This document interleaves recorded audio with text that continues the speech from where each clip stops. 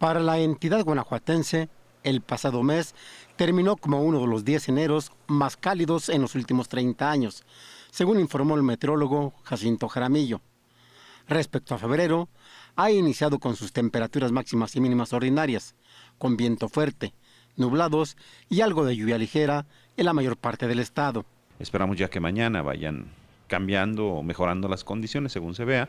Hemos sumado hasta el momento eh, ya poco más de 3 milímetros, no es gran cosa, pero eso habla bien del mes de febrero, que tiene un promedio estadístico de poco más de 14 milímetros. Así que en ese aspecto, en los primeros tres días, ya sumamos hasta esta mañana todavía 0.4 eh, milímetros, así que vamos bien.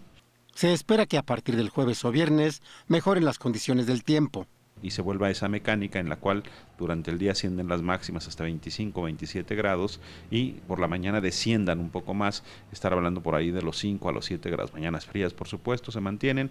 Al igual que cada mes de febrero, el de este 2015 tendrá características muy erráticas, por lo que tanto habrá momentos o días nublados, otros con viento, lluvia o calor.